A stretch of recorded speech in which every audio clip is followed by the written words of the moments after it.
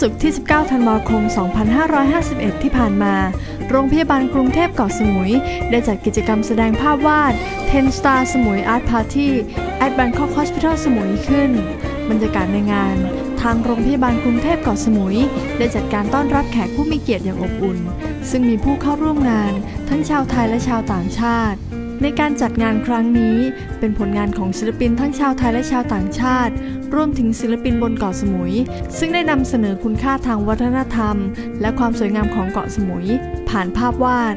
อีกทั้งศิลปินแต่ละคนได้นำเสนอในมุมมองที่แตกต่างกัน ซึ่งทำให้ผลงานแต่ละชิ้นมีความน่าสนใจ และโดดเด่นไม่แพ้กันเลยค่ะ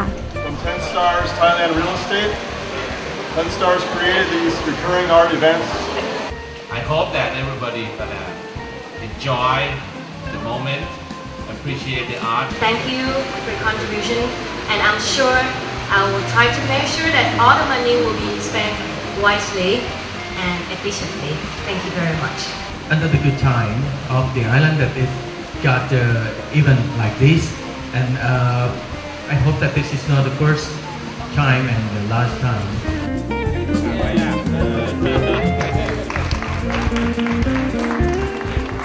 why we do this art exhibition um, in the hospital.